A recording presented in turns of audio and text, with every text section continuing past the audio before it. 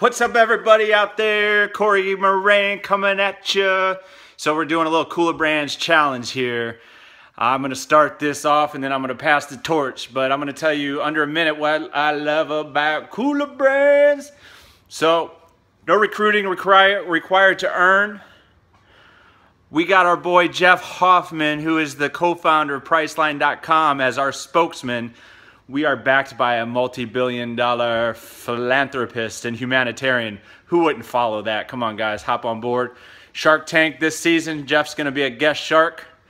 We have a, a, product already out that has gone viral, and it's on the top 3% of most funded products ever on Kickstarter, the number one uh, crowdfunding platform in the world. So, if that's not enough, you crazy!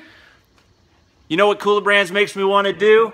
It makes me want to do the, the Carlton, baby. You know, everybody knows the Carlton, right?